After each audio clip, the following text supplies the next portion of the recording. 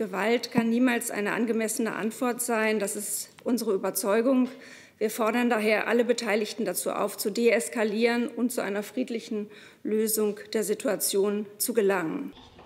Was die, äh, die Entsendung von OVKS-Truppen und die Rolle Russlands angeht, so können wir sagen, dass wir die entsprechenden Meldungen zur Kenntnis genommen haben und hoffen, dass alle Beteiligten dort ihrer Verantwortung gerecht werden.